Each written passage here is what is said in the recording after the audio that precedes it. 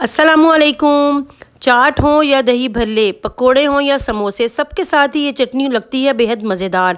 तो आज आपके साथ ये इमली की खट्टी मीठी चटनी बग़ैर इमली के मैं आपके साथ शेयर करूँगी ये रेसिपी, जो कर देगी हैरान कि हम बग़ैर इमली के वो भी चटनी बनाएँगे। तो इस परफेक्ट और मज़ेदार सी रेसिपी को आपने लास्ट तक देखना है कि हम इसको किस तरह बग़ैर इमली के तैयार करेंगे। तो रेसिपी अच्छी लगे, चैनल को ज़रूर सब्सक्राइब करना है और आपने लास्ट तक देखना है, वरना आप कर देंगे सब कुछ मिस। तो चलिए स्टार्ट करते हैं।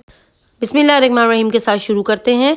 तो सबसे पहले पैन में ऐड कर रही हूँ मैं चीनी, जो कि मैंने एक कप बिल्कुल भर कर ली है। आप कोई भी कप सेट कर सकते हैं। चीनी की जगह आप गुड़ भी ले सकते हैं। उससे भी बेहद मज़ेदार फ्लेवर आएगा हमारी इस इमली की चटनी का। कप से मैंने पानी लिया, उसी से एक कप भरकर, यानी कि दोनों जो है, इक्वली हमें लेना है चीनी भी एक कप और पानी भी एक कप। इसको हम अच्छा सा मिलाएँगे और इसको हम उबालेंगे, यानी कि एक उबाल दे देंगे ताकि चीनी का जो दाना है वो अच्छे से डिज़ोल्व हो जाए। अब इसके अंदर हम जो चीज़ें ऐड करनी है वो ऐड कर देते हैं, जिसमें सबसे पहले मैंने ऐड किया है भुन कुटा हुआ, भुना हुआ ज़ीरा one teaspoon half tea spoon मैंने इसके अंदर ऐड किया है पिसी हुई लाल मिर्च हाफ़ टी स्पून कुटी हुई लाल मिर्च।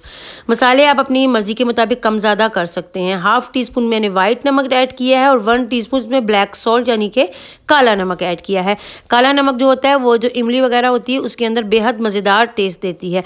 अगर आप चाहें तो इस पर सौंठ पाउडर भी ऐड कर सकते हैं। मैंने ऐड नहीं किया है। मैं इंशाल्लाह आइंदा जो चटनी बनाऊँगी, उसके अंदर सौंठ पाउडर ऐड करूँगी। अब जो मेन चीज़ इसके अंदर ऐड की है मैंने, जिससे बनेगी हमारी इमली की चटनी, वो था अमचूर पाउडर ये मैंने खटाई पाउडर ऐड किया है थ्री टेबल स्पून बिल्कुल भरकर। इसको ऐड करने के बाद हमने फ़ौरन से जो है इसको मिक्स करना है, ताकि लम्स ना बने, क्योंकि ये पाउडर था तो इसके लम्स बन जाते हैं। तो इसको हमने मिक्स करते हुए लो टू मीडियम फ्लेम पे इसको हमने कुक करना है तकरीबन तीन से चार मिनट। ठीक है, अब ये देखें तकरीबन तीन से चार मिनट हो गए हैं, और चीज़ें अच्छे तरीके से तमाम डिज़ोल्व हो गई हैं अच्छे तरीके से मिल गई हैं पानी में जाके चीनी के साथ। तो अब इसके अंदर मैं ऐड कर दूँगी red food colour one fourth teaspoon के बराबर। इससे क्या होगा? इमली का जो कलर होगा, वो बेहद ज़बरदस्त आएगा।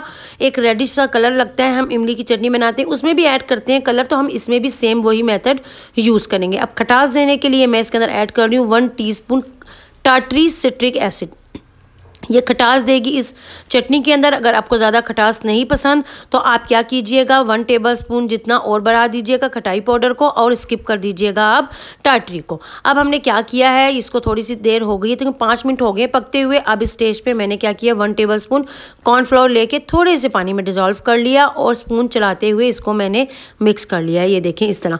ये क्या होगा? इससे आएगी शाइनिंग, खूबसूरती और क्या होगा? थिकनेस भी आ जाएगी। इसको अब मज़ीद में एक से दो मिनट हाई फ्लेम पर इसको मैं कुक करूँगी ताकि हल्की सी जब इसके अंदर थिकनेस आने लगेगी, बेहतरीन सी शाइनिंग आ जाएगी तो हम फ्लेम कर देंगे ऑफ़ तो ये देखें, इस तरह करके अब मैंने फ्लेम कर दिया है ऑफ़ और इसको अब मैं ठंडा करने के लिए पाँच मिनट के लिए साइड पर रख देती हूँ. तो पाँच मिनट हो गए हैं, अब आप इसकी थिकनेस चेक करें. ये देखें कितनी थिकनेस माशाल्लाह से बेहतरीन पाँच मिनट में आ गई है। कलर, टेक्सचर शाइनिंग ज़बरदस्त, कोई यकीन नहीं कर सकता कि ये हमने बग़ैर इमली के इस चटनी को तैयार किया है। और खुशबू क्या जायका? बिल्कुल सेम खट्टी मीठी इमली की चटनी वाला ही आ रहा है। आपने ज़रूर ट्राई करना है। इस रमज़ान शरीफ में ये मेरी स्पेशल रेसिपीज़ को आपने लाजमी ट्राई करना है और अपनी ज़िंदगी को करना है आसान। तो बस इस चटनी को बनाएँ, आप बॉटल्स भरें। और रख दें। और बेफिक्र होकर वन मंथ आप इजीली इसको यूज़ कर सकते हैं आप तमाम चीज़ों के साथ।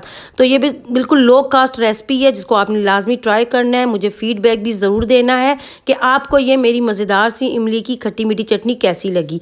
तो मुझे आपके फीडबैक का इंतज़ार रहेगा। मज़ीद मज़ेदार सी, बेहतरीन सी लो कास्ट रेसिपीज़ आपके लिए मैं लेकर आऊँगी और आपने ट्राई भी करना है और मुझे फ़ीडबैक भी देना है। मेरी रेसिपीज़ को ट्राई भी किया करें शेयर भी किया करें और लाइक भी ज़रूर किया करें। दुआ में याद रखें। रखिएगा। अल्लाह हाफि